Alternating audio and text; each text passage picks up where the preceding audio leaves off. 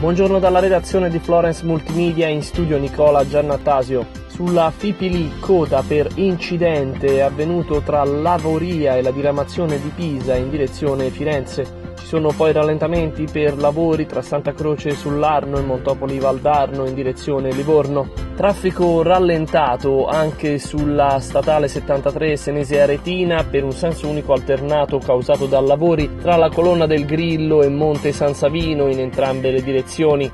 In A1 segnalato personale su strada a Barberino del Mugello in uscita. Sulla statale 3 bis Tiberina chiuso lo svincolo di Canili in entrambe le direzioni, in alternativa a utilizzare quello di Verghereto. Muoversi in Toscana è un servizio realizzato in collaborazione con Regione Toscana, Città Metropolitana di Firenze e Comune di Firenze.